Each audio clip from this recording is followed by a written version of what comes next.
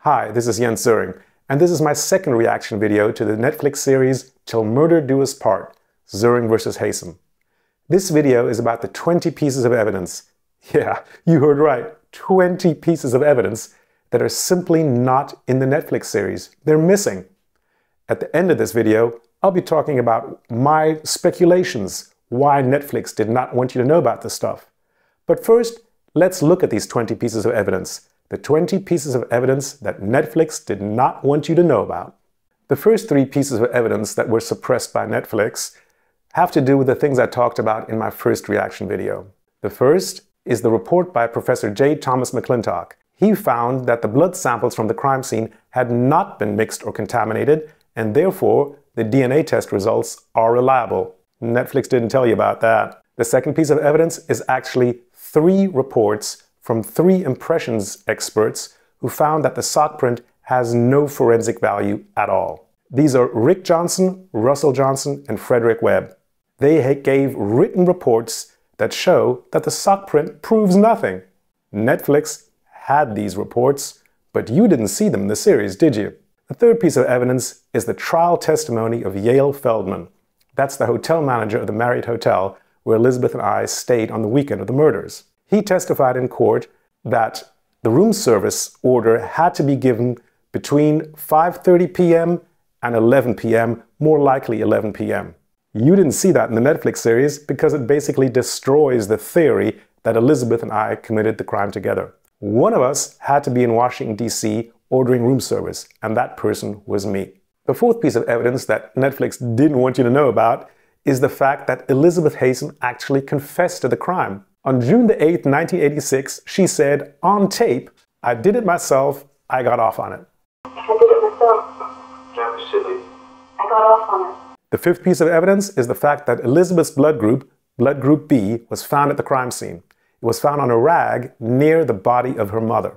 You didn't hear it Netflix. The sixth piece of evidence that Netflix didn't want you to know about is the fact that Elizabeth was observed by two witnesses how she removed her shoe and compared her foot to the bloody sock prints found at the crime scene. That's pretty suspicious. The seventh piece of suppressed evidence is an FBI suspect profile. Shortly after the discovery of the crime, FBI Special Agent Ed Sulzbach came to the crime scene and produced a suspect profile.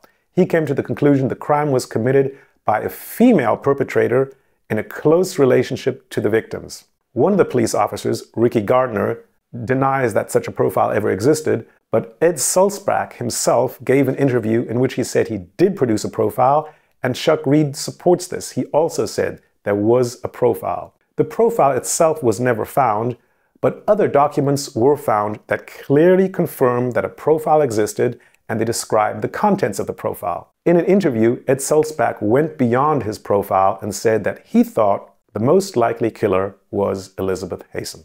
The eighth piece of suppressed evidence is the existence of unidentified fingerprints on an old plum brandy bottle and alcohol glasses right near Derek Haysom's body.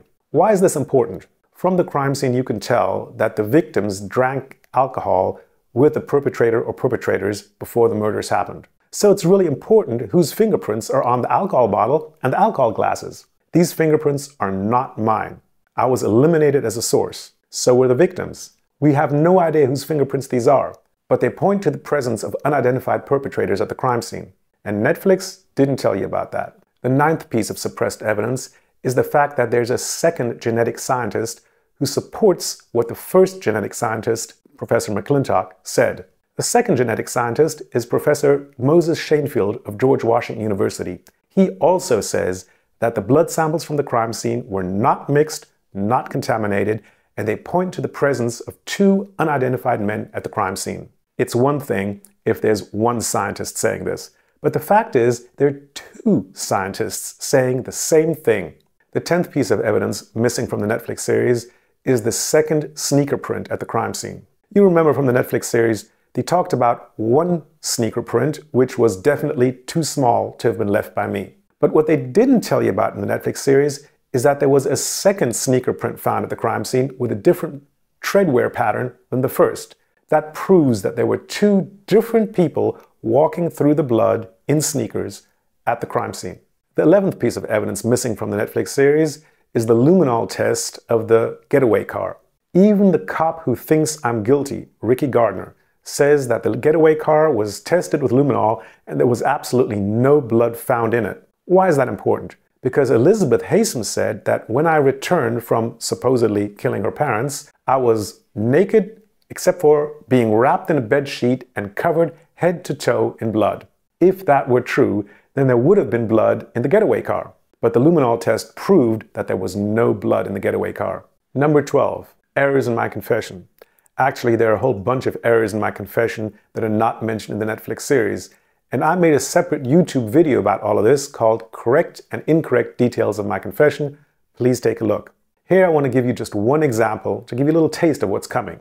In my false confession, I said that there was a long and violent struggle in the dining room. But take a look at this photograph. You can see that there are wine glasses and candlesticks on the table that were not knocked over, and on the fireplace mantel behind the table, there are greeting cards that have not been knocked down. If there had really been a violent fight here, all of that would have been on the floor and not still on the table and on the fireplace mantel. Number 13, Jean Bass, a neighbor of the Haysoms, said that between the night of the crime and the discovery of the crime, she observed many cars in the Haysoms' driveway. Pretty suspicious. Number 14, Sandra Thornton, an employee at a homeless shelter in Roanoke, overheard William Shiflett and Robert Albright talking about the Haysoms murders. She said she heard them say they had been to the house of a rich bitch and killed her parents. Number 15. The fact that there are three pretty good suspects for potential accomplices of Elizabeth who might have committed the crime with her. Out of respect, I'm not going to name their names here, but the fact is that there are real reasons to believe that one or all of these three people could have been involved in this crime, and they were never investigated at all. I think you all should have known about that. Number 16. The judge in my case, William Sweeney, was a friend of the victim's family, and before my trial had even started, he gave a newspaper interview in which he clearly expressed that he thought I was guilty. And he did this again before my trial. Number 17.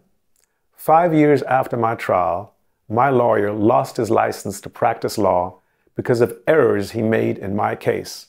Imagine that. The guy who's had my life in his hands in court was so incompetent that he is no longer allowed to practice law to this day. Number 18. In the Netflix series, they show you a letter that I wrote 38 years ago in which I use the word crushing and I use the sentence, I have yet to kill. In the Netflix series, they make it sound like that had something to do with the Haysom murders, but it has absolutely nothing to do with the murders, and the Netflix producers know this. I actually made a video about this. It's in my YouTube channel. It's called The Letters and the Motive for the Crime. Please take a look at it. Number 19. In this series, they show you somebody who says that Derek and Nancy Haysom, Elizabeth's parents, were against our relationship and that they hated me. But that's not the truth. At my trial, lots of people from the Haysom family and the circle of friends testified, and not one of them said at my trial that the Haysoms were against our relationship or disapproved of me. There was just not a single witness to this. Also, if you take a look at the letters between Elizabeth and me, Elizabeth wrote a lot about how much she hated her parents for controlling her and things like that. But never once in any of these letters did she ever say that her parents were against our relationship. This is not the truth. There is no evidence for it. Number 20.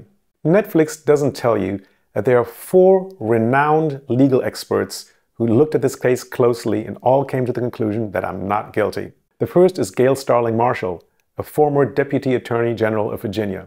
The second is Professor Mary Kelly Tate, who is a recognized expert in wrongful convictions. The third is Dennis Dohnal, who later on became a federal judge. The fourth is Irwin Cotler, the Minister of Justice of Canada. These are some of the greats in their field, and they all concluded that I did not commit this crime. Why would Netflix leave out these 20 facts, these 20 pieces of evidence? Of course, we'll never really know.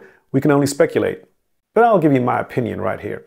In my opinion, Netflix didn't really have anything new to say in this series. Fact is that there's a lot more evidence speaking for my innocence than for my guilt. But that's a clear answer, and a clear answer is not particularly interesting. There's not a lot of suspense there. Netflix created suspense by leaving out these 20 pieces of evidence. They create an uncertainty by not telling you all the facts, when in fact there is something pretty close to certainty. I didn't do this. Here's the question for you. If Netflix doesn't tell you all this that I've shown you in the video, is that the truth or is that media manipulation?